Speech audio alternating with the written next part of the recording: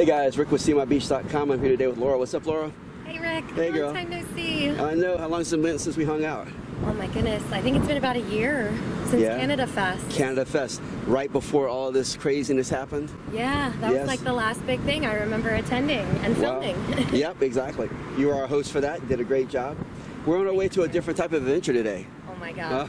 Are you excited about this? This has been something I've been looking forward to almost all my life. Oh wow! Tell everybody where we're going. We are going on a monkey adventure. We are uh, visiting the legend, the real legend of the Dania Beach monkeys. They've been here all my life. I don't know exactly wh- why they're here, but I've got friends that seen, have seen them running across roads here and there, out in the woods, and we got a special invite from the head doctor on the conservation project, right? Miss- Right, Missy. And so Missy's invited us along to check out her monkeys. This is ex- exclusive access, and she said we could use that term because no one else can go in like this. Yes, so unfortunately, most of our videos are usually about places we want you to go. Um, until they've got, you know, some significant changes, which we're working on, um, you won't be able to visit this place. But you'll be able to see firsthand, um, up close and personal with us. We're going to take them on kind of an in-depth. They've had a few news crews in here, but they've never had anyone come in and spend a good bit of time. We're going to spend a good bit of time. I'm ready for my close-up. You ready for the close-up? All right. For sure. All right, Laura. Well, let's go. Let's go do it. Where next stop is where we can't tell you where we are, but it's going to be fun. Secret. But you can watch the video and you can experience it. Next best thing to being there. Yes. All right.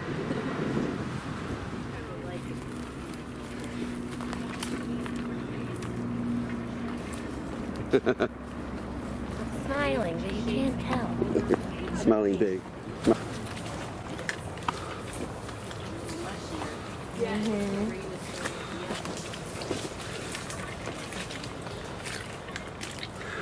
Hi, guys. Baby. We got a good crew today. Oh, man.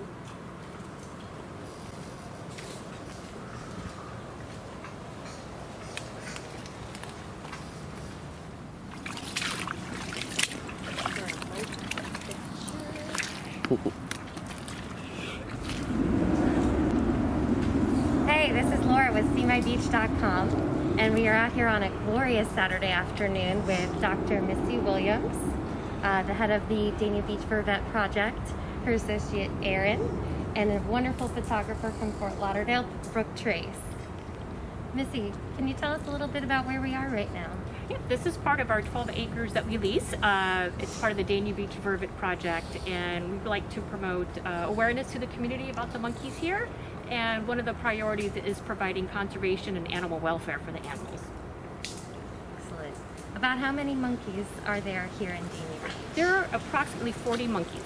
40 monkeys. Right, yeah, So yeah. they do exist. Yeah, different social groups. You know, they have different social groups, but if you added that social group number uh, of individuals, it would be about 40. How many groups? there are four social groups.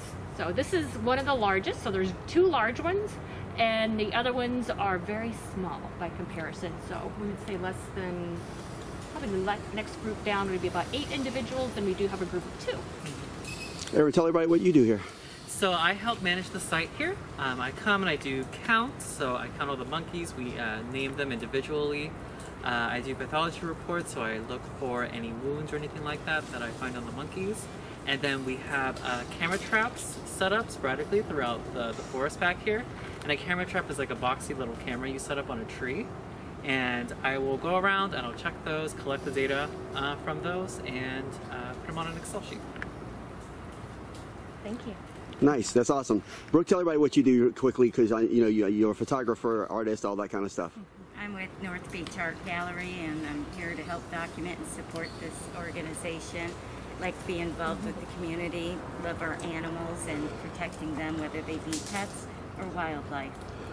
Gotcha. Sorry about that little camera movement. I just thought, felt something on my leg again. There's bugs and all kinds of crazy things out here. We'll yell, we'll be like, snake! No, Yeah, snake. exactly, exactly. I'm, I'm more scared of spiders, I think, than anything. That's so, yeah, a lot of people don't like spiders. Arachnophobia. Yes. Yep. Do not like spiders. Yeah, you'll walk right into them here and you're just like, oh my god. I know. Great orb weavers back here. Yeah, So, yeah. She told me you were going to remove the spider webs before we got here. This is very unfair. You know, I, I walk. I try to walk through as many as I can when I arrive. But That's what I'll do is I'll just have Aaron walk in the path I want to go. all right, guys. All right, guys. Let's go around and explore and yeah, get some photos and interact with these little guys. Absolutely. They've been people probably can't see, but they've been mulling all around. There's one right over there. Yeah. There's some over here. They're all around us right now as we're talking. Right. Let's go explore. Alrighty.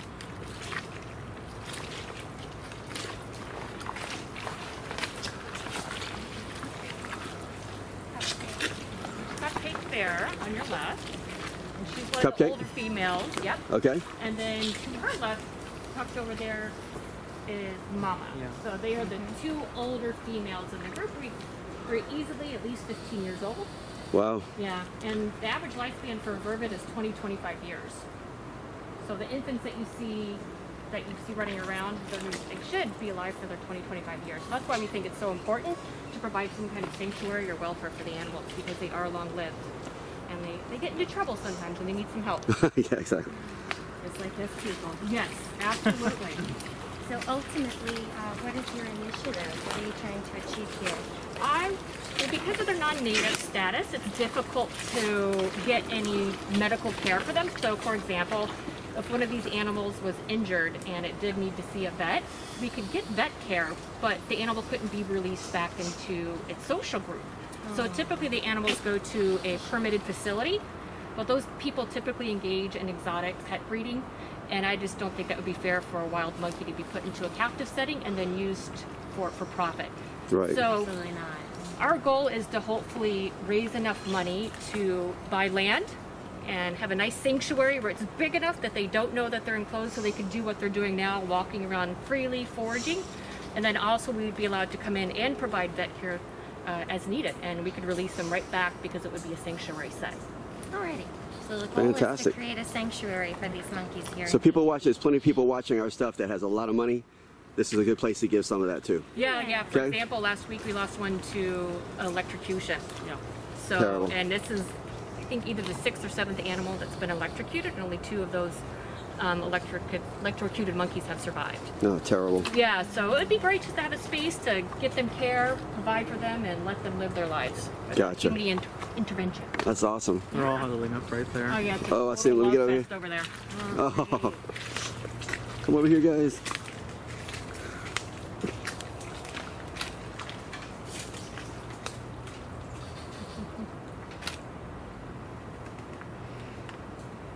The little ones never let the big ones sleep.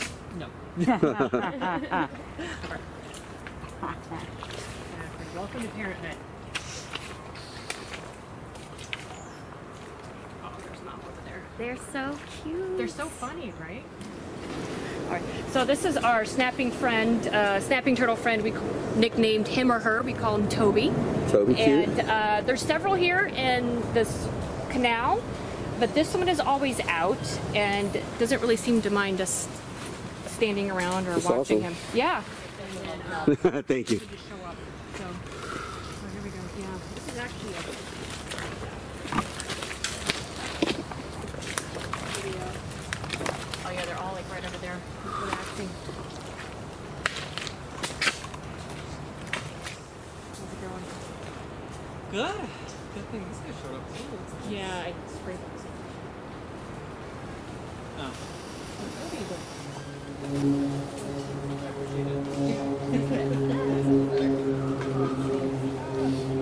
That's okay. They're like really cheap back there, so. What about the safety? The other day, we ran all that.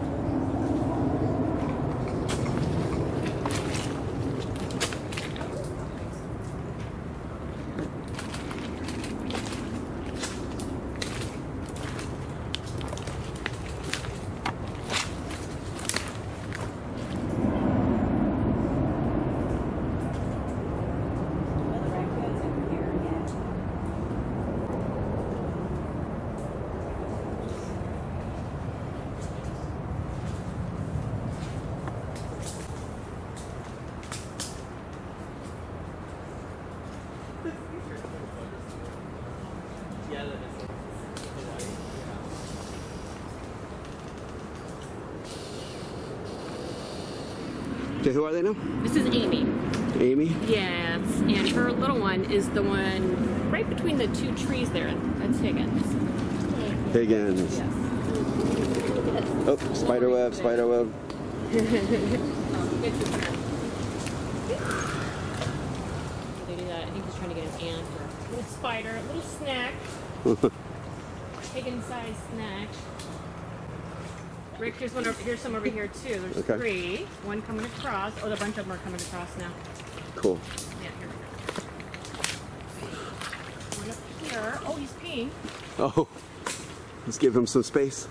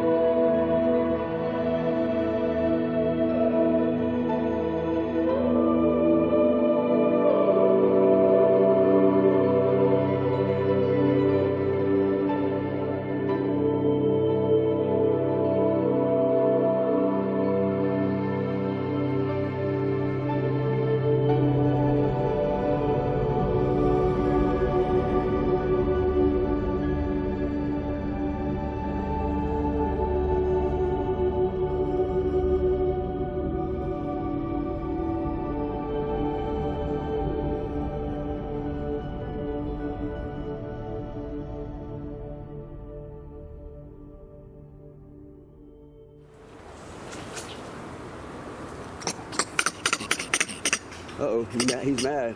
He's got something to say.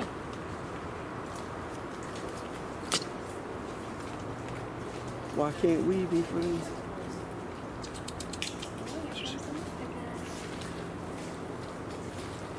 Hello. He almost went on you, right. Yeah. I thought he was really like coming to make his move.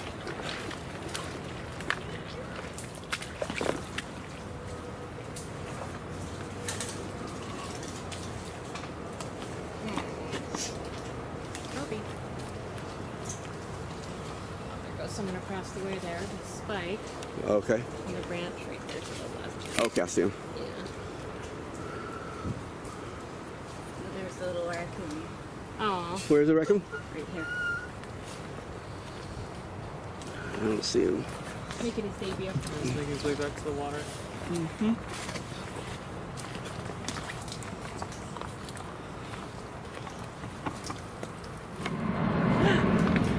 As a Dania Beach native, I have heard tons of rumors flying around Dania Beach about where these monkeys came from. So tell us a little bit about the story. Yeah, I had the same question when I first started, and I did lots of research, and it turns out the monkeys escaped from something called the Dania Chimpanzee Farm. And it was opened by Layla Roosevelt, and they were importing primates in for biomedical use and also at the same time to provide entertainment as a zoo place. So uh, around 1948 or 1949, 50 escaped, and they got all of them back but 12 to 15. So the individuals that you see around here today descended from that group of escapees. The renegades. Yes, yes. I'm glad they escaped. Yeah, they got out, yeah. It's awesome. Yeah, and they're. I, they guess they're pretty happy here in Dania Beach. They have not migrated to other areas. No, no. The population isn't growing. So in 1992, a study was done, and he counted 36 individuals. And then in January of 2014, we counted 36 individuals. Okay. Awesome. So they're not they're Yeah. not becoming invasive. So it seems like they're they're not necessarily thriving here, but they're just sustaining here in Dania Beach. Why is that? Uh, we've been looking at that from the research, and we really think uh, people do probably trap them. Uh, we've heard r- r- rumors of people taking them for the pets. And also, this is a monotypic habitat, so there really isn't a lot of variety of food. So that could be limiting some of the reproductive success. Got it. Okay. interesting. Over here visiting Aaron at one of his camera traps. What's up? Tell me a little bit about what these do. Yeah, so this is kind of like a temperature censored camera. So when it senses a change in temperature in front of it, it'll go off. So let's say a monkey's walking in front of it, it'll sense that and it'll start recording 30 second videos of what, you know, Oh, of okay. whatever that monkey's doing. So kind of like how my ring camera has a people only mode. Yep, it's a little bit like a ring camera, yeah. Cool. So I can set the sensitivity to like medium, low, or high, and then it kind of goes off that. So if it's on high, it's going to sense like an ant walking through or something like that. So Oh, yeah, so they're really sensitive.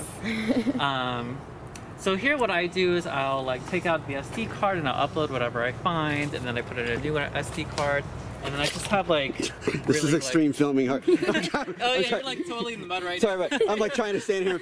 This is extreme filming, people. So if you've ever seen, see the camera work, this is shocking that I even got it pointed the right direction with what's going We on. got him out in the Afraid woods of with bugs, spiders. with spiders, exactly. I can exactly. keep myself up right out here sometimes. so- Exactly. I'm just like I'm like sinking in on one side. All right, go ahead. Sorry, sorry, Aaron. You're good. So I'll um, take notes, and this looks like a mess, but I'll clean it up, and it looks much more formal on a computer. Right. And then we'll, you know, let's say three months down the road, we're gonna look back and say what camera trap was that, what SD card was that, who was that. We can look back into the notes we put on like an Excel sheet, and then that helps us keep it helps keep us more organized. So. So what's the craziest thing one of these cameras has picked up so Oh far? my gosh. So for this one, if you look here, it kind of has like a red light blinking on the camera. And for this like brand of cameras, I guess they um they do that when they're like ready to record or they're recording. And like the monkeys will see that red light and think like, what is that? Is that the treat or you know, Oh. you know, like a curious mangrove about pot or it. something? Yeah. And they'll like run over to it and they'll like, I've had like monkeys like go right up to the camera and like sniff it or something. So they think it's like a piece Cute. of branch like for food or whatever. Yeah. So I think that's definitely the funniest. I have um plenty of pictures of that and it makes my day. Well, these monkeys have definitely made my day. yeah. Best day ever. This has been a fun, fun adventure. Absolutely. I love coming out here. This is my Zen garden. When we finally get this sanctuary built, I would love to be put on the list of volunteers. Hey, we're happy to recruit. We're always looking for people. So They're gonna need a cameraman. Laura's got to have a cameraman, right? Absolutely. Yeah, you're hired. All right, exactly. I'm cheap labor. exactly. Well, you already have experience in the mud. Exactly. Never thought I'd have a pair of these boots. I had to go buy new boot things to come out here. Because Luckily, I see my beach, we don't have a lot of these things, you know. right. Yeah. Yeah, you got those already, huh? Yeah. Those are cute. Mom. Mom. Nice. well, you look kind of cute for being out here in this. Yeah, not so bad. Yeah. I like I like the jungle. I always tell her b- before, you know, I'm like, look cute. That's my thing. Yes. We want our girls to look good. And t- this time I was like, uh, you know, you don't have to look cute this time. I think you still brought it a little bit there. good. Cool, cool. I will get such weird looks sometimes going to Publix or whatever, and I'll like forget my pants get all muddy. I'm like walking in like muddy pants, or like I'll like go and like go pick up food and I forget I like smell like swamp water. Like, and everybody's looking at you in the restaurant. yeah. Nice. But you can say, I've been playing with monkeys all day and you haven't.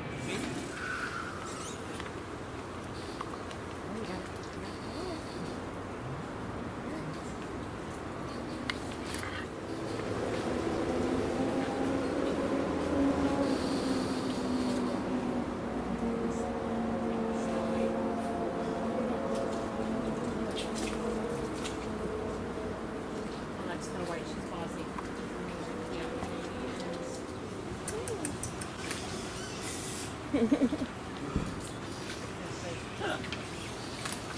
This one here is Snow White. Yep. Yep. She's Snow the uh, White. alpha female. Alpha female. I like her already.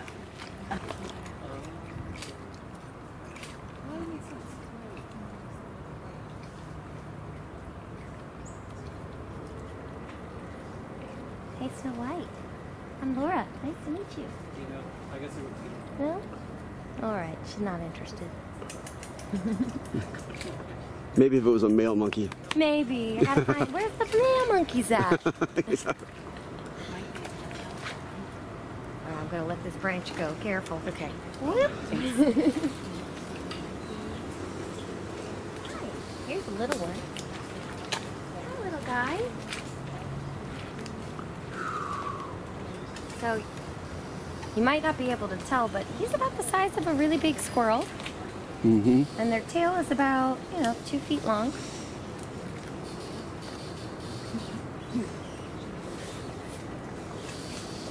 Starting to learn them by name.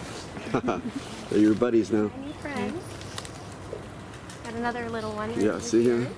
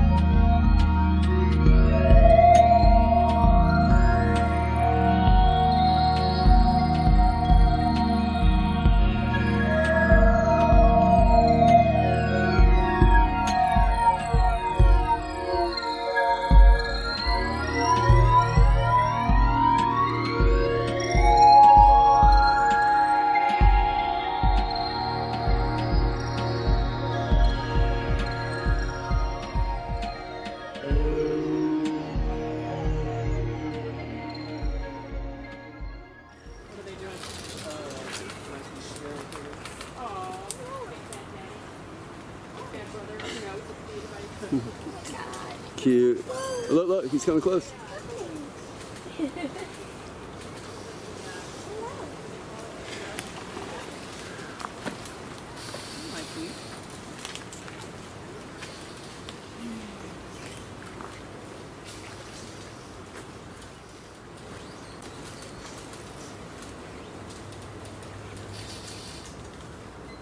We're closing up shop today. Dr. Missy, I want to thank you so much for inviting us to your special sanctuary you have here. Thank you for I know coming. that there are plans in the future to have an actual enclosure for these monkeys. And I hope today this video helps you raise awareness in the community so that that becomes a reality even sooner. Yeah, thank you guys for coming out. I'm glad the monkeys were out and uh, we're excellent hosts for you guys as well. So thank you for having us. And just as a friendly reminder, we are on private property and uh, there is no trespassing allowed. So people are always tempted to come see the monkeys when they see videos or hear them, hear about them. But uh, this is a, a spot that we've reserved specifically through our nonprofit and it is um, no trespassing. And Brooke, you've got some amazing shots today. Where can we find those? I'm going to post them on Fine Art America so we can raise some money for the project to support them. Is there a direct link to that from your website, or where, where would they Yes, find it? there is. Okay, perfect. And we're also in a few days going to have a shop tab that you will be able to purchase um, a lot of goods that show up in our videos here at See My Beach. So make sure you check that out as well. And Aaron, how was your day today? Oh, I love coming out here. Yes. Me too. I think they, I'm going to be first on their list of volunteers when this happens. yes, yes, yes. And the volunteers are always really important too because they um, help us do our counts as well. And we want to keep our monkeys all together. Um, unfortunately, they do get trapped um, from people if they kind of disperse from um, this land here. Um, so. people want to take them as their pets. Yeah, so people want to take, you know, the infants as their pets and things like that. So we try to, we just want, you know, we want to keep them together. Um, you know, the kennels are riddled with, you know, overrun with dogs and cats. You know, it's more important to get a dog and a cat as a pet rather than the wild animal. So They don't do well in captivity. they at don't, right? Monkeys don't do well in captivity. I've taken care of them at the zoo. They're very hard to take care of. So. And they're They're expensive. People don't Yeah. calculate how expensive it is to have an exotic pet, and they Yeah. require lots of space. And then when they do reach sexual maturity, that cuteness wears off really quick. And then you will find a lot of these animals will end up in a sanctuary because people can't take care of them anymore. Yeah. So they look cute, but they're definitely not pets. So sad. Yes. Well, anyway, again, thank you so much, Dr. Missy, Aaron. Air high five, everybody. Thank you guys. Air high five. Thank you. Awesome. Thank you, Aaron, man, for your insight and everything. And Brooke, I asked Brooke to come out here because I knew she'd get great shots for you and can't wait to help me make some money. Thank you guys so much. Laura, as always, hey, we're back in business, girl. Yeah. This is the first video we've done in a year since Snowbird's Nook. Trump this one. Yeah, exactly. This is uh, this is a big, yeah. We started off way too high. Our start our start level, everything will be downhill from here. Oh, the monkeys. Hopefully yeah, they're a high not. bar. You guys are welcome to come Yeah. back anytime. yeah. Thank you so much. No, absolutely. Absolutely. Well, we'll let y'all know, and uh, and uh, if I know Laura, we'll be back out here. Yeah, absolutely. And Brooke. All right, guys, y'all take care. Bye from SeeMyBeach.com here in the monkey habitat at Dania Beach, the Dania Beach vervet monkeys. I didn't even know what a vervet monkey was until this.